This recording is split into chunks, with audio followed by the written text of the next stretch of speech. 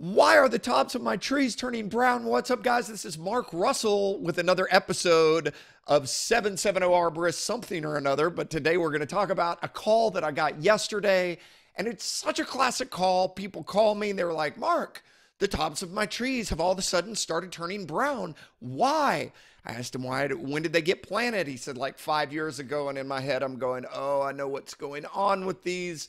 So we're going to show you exactly what was happening. And please, if you have landscapers plant arborvitae, Leyland cypress, any type of tree that needs I'll, I'll, hold you in suspense. That needs what? That needs what? And what do you have to do with it? Okay, so here we go. You ready? So he calls me. He's like, "Hey, the tops of my trees are turning brown." And I'm like, "When did that start happening?" He's like, "A week ago." I'm like, "How old are they?" Like, Five years. And I'm like thinking to myself, oh boy, you need to send me some pictures because I know what's going on. And so the second he sends them, I was like, I know exactly what's happening. So here we go. You guys ready for this? This is what we saw. Okay. This is the house that is um, effectively, take a look. Look at all those nice trees back in there. And you're like, oh my gosh, those are nice trees. That really stinks. So here we go. Picture number one oh wow look at that it's like it's like super green and bushy right here and then all super stressed. And if you guys notice check this out. Here's what i want to show you.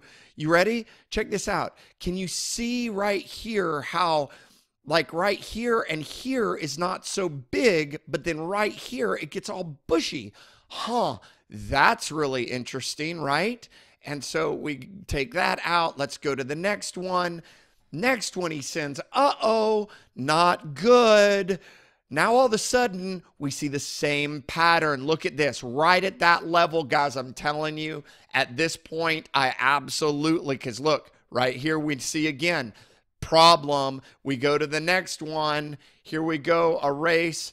Get over here to the next. Oh, that's the same image. Okay, uh, one, two, same image on two. Oh my gosh, please don't tell me I saved that image three times. Um, let's go to the fourth image. Russell.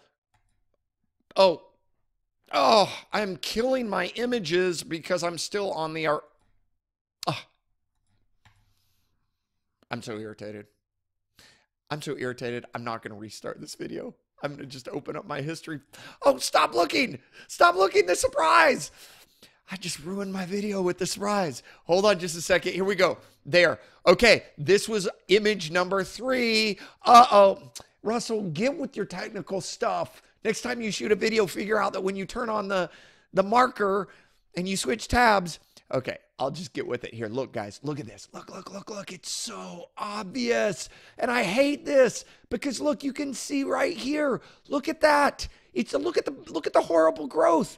And then right here too. Here, there right there. Do you guys see the horrible growth? Good growth at the bottom, bad growth at the top. Okay, and this is the reason. And it's so super frustrating. Guys, when you go with the cheapest bid, please understand you get what you pay for. The guy who puts these trees in for 300 bucks a piece doesn't know the simple thing. Okay? You need to hire this guy paid for 15 trees, 300 bucks a piece. The guy who put him in had no idea, didn't give him good customer service, and didn't say one simple thing. And this is the thing he should have said Hey, Mr. Customer, in about two to three years, two to three years from now, the trunks are going to start getting thicker. So, I mean, and look, one more picture. Hello, hello. I, I mean, do I need to draw it out? I'm going to draw it out because it's so fun. Hey, look at this area. That's a little stressed. So why? Why are they getting stressed? Right?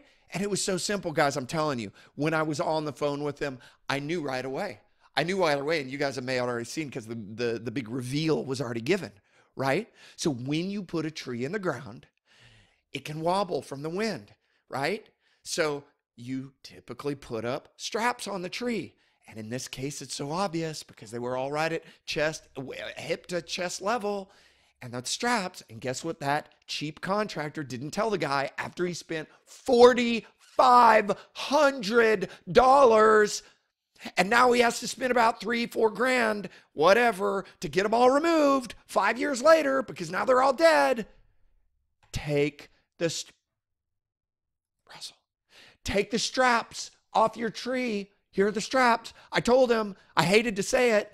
I told him, I said, look, you don't have to pay me 149 to come out to assess because I already know what's going on with your trees. Here's what you need to do. Go take your camera, put it on the trunk of the tree and look and tell me if you see some guy wire straps, some pieces of twine, some something right around the trunk. So here's how it happens. And I've had my caffeine this morning.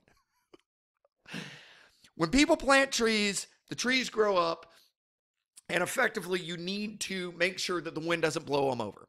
So they put guy wires right up to the trunk. Well, people forget, hey, look at the nice trees. They're so awesome. And three or four years later, trunks get big, guy wires do what's called girdle the tree. Okay, so the trunk is getting bigger, the guy wires constrict. The sap is trying to flow up the cambium layer of the trunk. Many people don't know this, but the primary sap movement within a trunk system of the tree is right underneath the bark called the cambium, phloem, xylem layers because the inside of the trunk only holds storage of material, doesn't do a lot of up and down flow. It only does in and out in the ray cells. So what happens is when you girdle the trunk, then all of a sudden there can't be sap flow. And then what happens is this exact, so here's what it looks like. Okay, are you guys checking that out? Look, and then it assimilates. There's the strap right there. It assimilates the, um, uh, just like Microsoft, you will be assimilated. It assimilates the twine. And then look, now he can't even get it out of there. You can't even cut because it's too late. The, the trunks have grown around it. And now the cambium layer, like here's the strap, and it gets thick, thick, thick, thick right on the strap. And then the bark comes around, and the bark is trying to come around, but it cannot connect because there's no cambium layer. Sometimes it does, like on an oak. But on these um, uh, arborvitaes, they're done. And I hate it because look, look at how nice that is. That is so much money. He spent 4,500 and five years. Now has to spend three grand to get him taken out, plus another at least 45. So you're nine, $12,000 in. Should have just paid for the expensive guy to do the right work, to give you the good information so that you didn't wind up in this problem. Thank goodness for the internet. Thank goodness that when you hire your cheap contractor, you can watch a video like this and remember to take the guy wires off. It's very important. Guys, if you have any questions, hit me up. Send me a video. Love to help you. If you have questions, comment. Please make sure if this is valuable content for you, please hit the like button, subscribe, share it. I guarantee you, if you're in the South, you probably have some friends with similar situations. Maybe, maybe not. No one even cares about their trees. They're busy doing their stuff. It's only tree nerds like us that even care. Guys, I hope you have an awesome, happy holiday. Okay. And other than that, if you're in the North Atlanta area and you need some awesome tree healthcare, give us a call at 770 Arborist. And also, one more time, like, subscribe, share, hit the notifications button. Other than that, if you've had trees planted, go check and figure out if the guy wires have been taken off. Finally, one last thing about guy wires.